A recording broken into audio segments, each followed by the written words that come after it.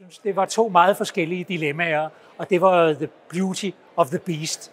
Fordi den ene, det var sådan iværksætteren, den anden inden for en mere etableret industri. Så jeg synes, det var i sig selv var godt. Men jeg synes også, diskussion om dilemmaer, anvendelse af dilemma diamond og sætte ned, hvor skulle man sætte sine øh, ludobrikker, var sindssygt godt, for det skabte noget stemning. Og det viste jo også, når du spurgte, om det var A, B eller C, at så var der en differentiering, specielt i det første case. Så jeg synes, alt andet lige, så var det en rigtig god eftermiddag med masser af energi, og jeg tror også, folk går derfra med en fornemmelse af, det der dilemma, det er spændende, men det skulle heller ikke helt nemt. Jamen, jeg synes, der måske er to ting, jeg vil nævne her nu. Det ene, det er evnen til at formulere, og måske også reformulere, hvorfor er det et dilemma? Altså, man tænker, mere konkret på det. Hvad er det, det betyder for vores virksomhed? Og hvad er det spændingerne i den der problemstilling eller udfordring, vi står overfor?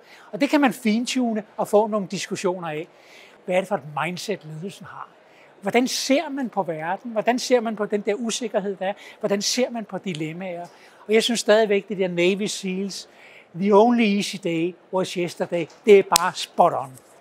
Jeg synes, at VUCA i sig selv er jo god nok som sådan. Det handler om volatilitet, det handler om uncertainty, det handler om complexity og ambiguity. Så det er jo fire ting, der stadig kendetegner den der usikre verden, vi lever i.